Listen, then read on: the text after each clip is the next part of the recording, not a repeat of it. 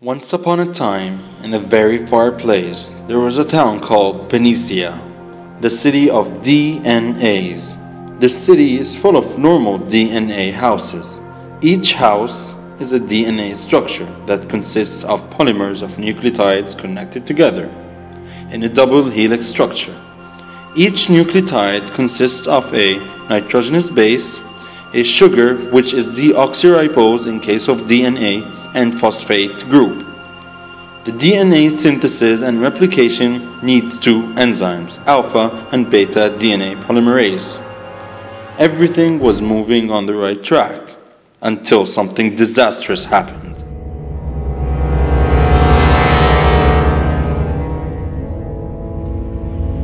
Good evening, everyone. We have important news. We were informed that one of the biggest houses in Panacea town became very dangerous. Please be careful.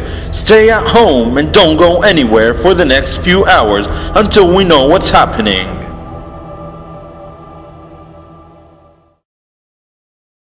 What's happening in the city of DNA? What's happening in Panacea? Let us find out.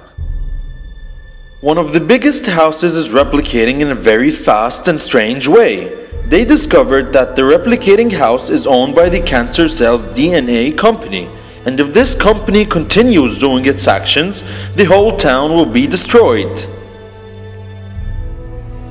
And suddenly, a strange compound approaches the house. It is called cytarabine. Cytarabine is an anti-metabolite, antineoplastic agent used in the treatment of different types of leukemia and non-Hodgkin's lymphoma. The drug enters the cell with a carrier-mediated process. Then the drug is activated by phosphorylation with kinase and then is converted to the nucleotide form cytosine arabinoside triphosphate to be cytotoxic. Another mechanism Cytosine arabinoside triphosphate is an effective inhibitor for the action of DNA polymerase enzymes, so inhibition of DNA replication occurs. By virtue of cytarabine, business of Cancer Cells DNA company has been stopped in our city. And now, it's time for the normal cells to replicate. But what happened is that the cells stopped replication after the entrance of cytarabine in DNA of both cells, cancer and normal ones.